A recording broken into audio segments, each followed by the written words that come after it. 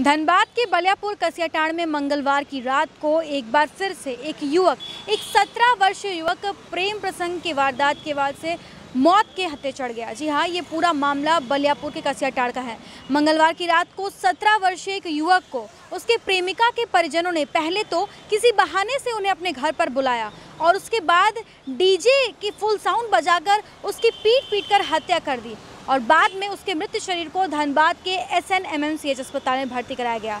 और वहीं किसी स्टाफ ने उनके परिजनों को कॉल करके इस पूरी घटना के बारे में बताया। जब परिजन वहाँ पर पहुँचे और मृत शरीर को देखा तो साफ़ तौर पर ये साबित हो रहा था कि उस पी, उस युवक की पीट पीट कर हत्या की गई है। उसके पैर के नाखून उखड़े थे, शरीर पे कई तरह के दाग लगे हुए थे। हालाँकि जब परिजनों ने अस्पताल वालों से इस पूरे मामले पर पोस्टमार्टम करने के लिए और साथ ही साथ पुलिस वालों से ये आग्रह किया कि आप इस पूरे मामले पर एफआईआर दर्ज कीजिए तो ये बातें सामने आ रही है कि यहाँ पर पुलिस वालों से, उन लोगों उन लोगों से पुलिस वाले यहाँ पर पैसे की डिमांड करे थे, लगभग बीस हज़ार रुपये की मांग की जा रही थी।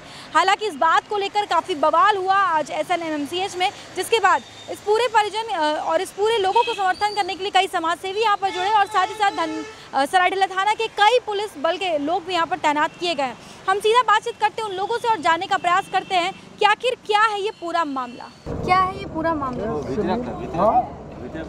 प्रेम कुमार रवानी जो है कि कोसमाटड़ के हैं और इसका हत्या यहाँ पीएमसीएच से इसका हत्या हुआ था और पीएमसीएच में कोई जो हत्या करके यहाँ लाश को जो है कि रख दिया पीएमसीएच में। और पीएमसीएच का कोई फ़र्ज़ नहीं हुआ कि उसी में जो है कि पीएमसीएच का कोई स्टाफ उसी मोबाइल से फ़ोन किया उसका घर वाला को और उसको सूचना मिला। तो जैसे ही सूचना मिला तो घर वाला यहाँ आया और यहाँ देखा कि जो है कि हत्या हो गया है उसका मर्डर किया गया है मारपीट के जो जो देख देखने में आ रहा है।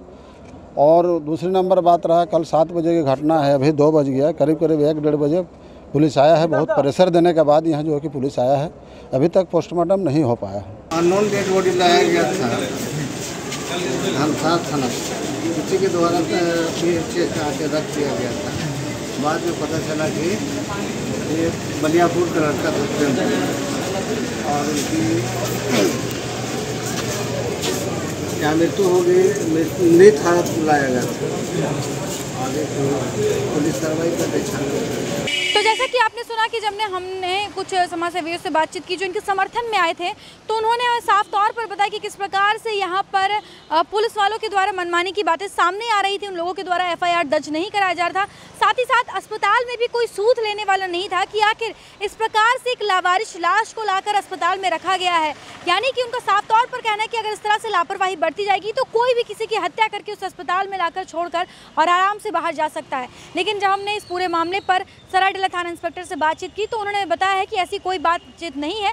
आरोप, प्रत्यारोप इस तरह के लगते रहते हैं, लेकिन अभी जो है वो पूरा मामला दर्ज कर दिया गया लेकिन सबसे बड़ा सवाल यहाँ पर ये उठता है कि कैसे एक सत्रह वर्षीय युवक को केवल प्रेम प्रसंग में पड़ने की वजह से उसके प्रेमिका के परिजनों ने इस तरह से पीट पीट कर उसकी हत्या कर दी। ये पूरा मामला अब जाँच का विषय बना हुआ है और देखते कि इस पूरे मामले पर क्या कुछ फैसला लिया जाता है, किस प्रकार से पुलिस इस पूरे मामले पर तहकीकात करती है, क्योंकि ऐसे बच्चे को न्याय मिलना बहुत ही ज़्यादा ज़रूरी है। हालाँकि परिजनों से जब हमने बातचीत की तो उन्होंने कैमरे के सामने कुछ भी कहने से साफ़ तौर पर इनकार किया, लेकिन उन लोगों की यही मांग है कि उनके बच्चे को न्याय मिलना चाहिए और जो भी दोषी है, उन्हें कड़ी से कड़ी सज़ा मिलनी चाहिए।